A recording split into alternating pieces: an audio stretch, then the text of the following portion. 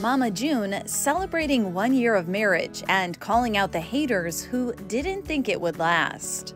This is my person. You can be treated like a queen. On Thursday, the reality star posted a series of snaps to commemorate her first wedding anniversary with her best friend, Justin Stroud. Justin has taught me not to become a runner and feel the emotions, and it feels good to kind of be grounded for once in my life. Mama June kicks off the caption, pointing out that people didn't want them to be together and thought they wouldn't make it. We have been through a lot, to say the least, as friends and as a couple, that most would not be able to handle. But Mama June says they've worked through every situation together, something she says she's never experienced before. Most relationships don't go through the obstacles that we have had to go through the last year.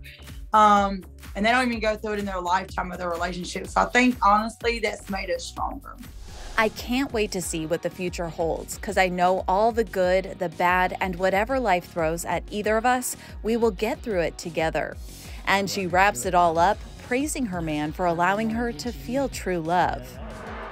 Mama June and Justin said I do in an oceanfront ceremony in Florida in February, nearly one year after their courthouse marriage in Georgia.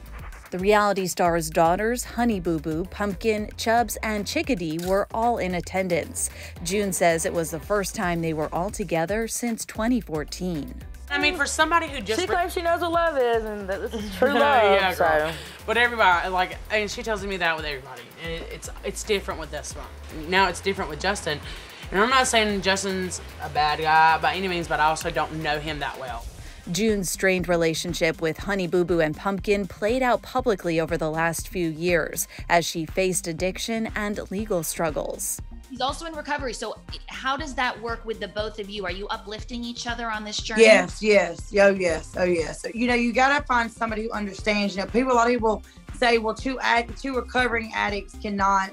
You know, people in recovery cannot be together. Well, that's a lie. We're gonna prove that that little five percent of the relationship don't work. As for Mama June's daughters, they told ET last year their mom's elopement came as a big surprise. I was more in shock because my mama always said Yeah. that she would never get married. She was scared of marriage, like to say the least. And now she went off and just got married with this dude she hadn't even known a whole year yet. But for June, she says meeting Justin changed her life for the better. I was going through some hell learning who I was, but it's just you know.